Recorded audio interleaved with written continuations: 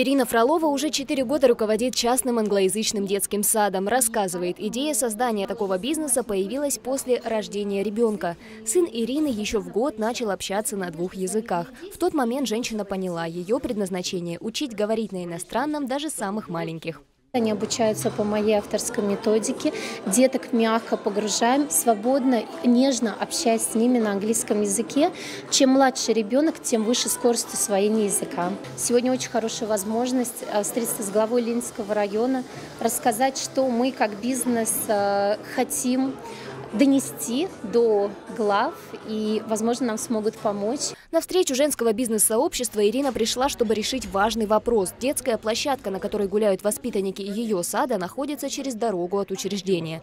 Пешеходного перехода в этом месте нет, хотя он необходим. С этой проблемой бизнес-леди обратилась к Альберту Гравину. Первый заместитель главы администрации Ленинского округа пообещал взять решение ситуации на личный контроль. В неформальной обстановке мы встречаемся, обсуждаем за круглыми столами, не со сцены, различные наболевшие вопросы, многие из которых просто необходимы и возможно решить, э, находясь вот э, в данной прекрасной компании. Встреча направлена на знакомство администрации э, с нашим сообществом, с девушками, соответственно, которые являются членами в городе Видное, и представлением их бизнеса и возможностью нахождения путей взаимодействия нас и администрации. passado sempre. Также девушки задавали вопросы по поводу оформления вывесок и поддержки в условиях кризиса. Встреча участниц сообщества «Нежный бизнес» с Альбертом Гравиным прошла накануне Всероссийского дня предпринимателя.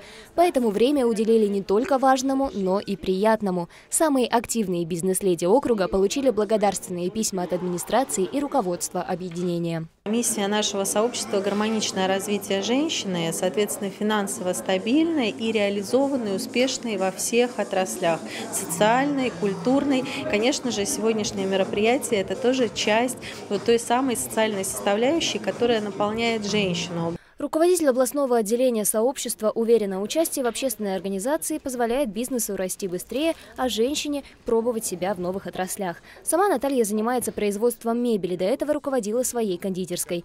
Говорит, если бы не нежный бизнес, за более масштабное дело не взялась бы. Поэтому теперь с удовольствием поддерживает других.